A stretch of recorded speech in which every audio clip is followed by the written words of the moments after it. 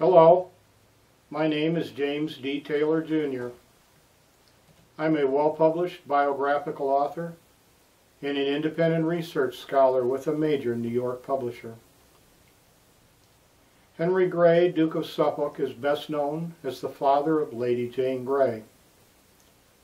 Henry was descended from a distinguished and noble heritage back as far as 1100 Common Era that produced two queens.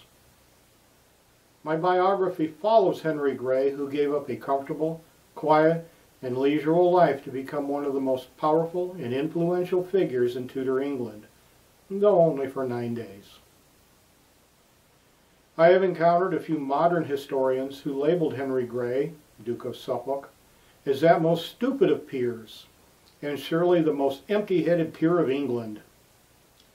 But as information that history has recorded about the man was reviewed and accumulated for this book, a much different image began to emerge.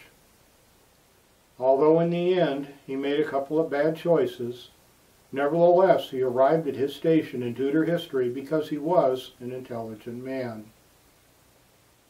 Two issues were problematic from the very beginning of the accumulation of research material, the date of his birth and his first marriage. These issues, including several others, are addressed in this publication and corrected. Compounding difficulties was another Henry Grey. Actually, Sir Henry de Jure, Lord Grey of Ruthin, 4th Earl of Kent, who lived during the same time as our Henry Grey. Lord Grey of Ruthin seems to be a source of confusion in both early and recent accounts of the period that would include mention of Henry Grey or relevant material from the period. This may have misled some researchers to believe they were reviewing the father of Lady Jane. But two very different individuals, and that information could of course mislead some historians. Henry Grey was lured into the desire for more power and joined with the Duke of Northumberland to manipulate the dying King Edward VI to alter the order of succession and placed Jane on the throne. That did not work for him, and he was lucky to escape with his life when Mary took the throne from his daughter. But soon after, Henry joined with Thomas Wyatt when Wyatt formed a rebellion to remove Mary from the throne. It was that act that not only cost him his life, but his daughter's, and they were executed within a week of each other on Tower Hill. It was not the intent of this book to place Henry Grey in a positive or negative image, but to provide all known historical information regarding the man.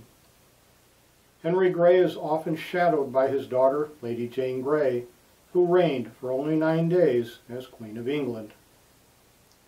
This book corrects and explains why many errors often printed by recent authors about Henry Grey.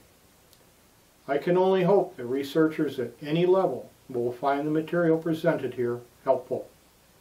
If, at the very least, to correct the often incorrectly printed material because a researcher would not take the time fully required to research the material available. Thank you.